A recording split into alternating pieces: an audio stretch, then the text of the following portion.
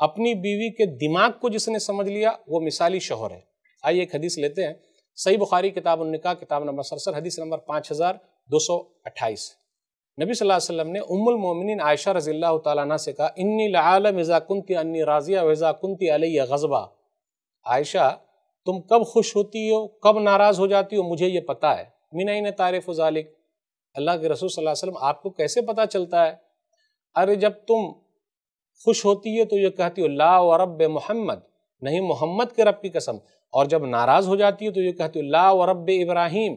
नहीं, इब्राहिम के रब की कसम। बोले हाँ नाम।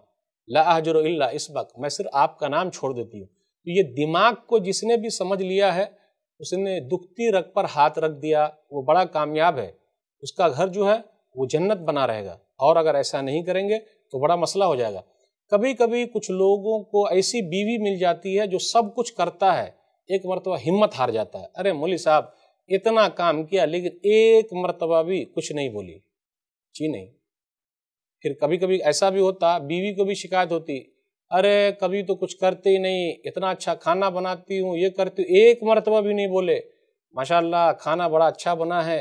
वाह वाह कितना बेहतरीन खाना बना अरे दाल अगर वो बना दें तो उस दाल का क्या कहना? और अगर सालन बना दे तो उस सालन का क्या कहना? कभी कभी माशाल्लाह, बड़ा अच्छा बना है आपके हाथ का, अल्हम्दुलिल्लाह। तो घर को अच्छा बनाने के लिए ये सब करना पड़ेगा, ताकि हमारा घर जन्नत बना रहे। ऐसे ही और वीडियोस बनाने में हमारी मदद करें।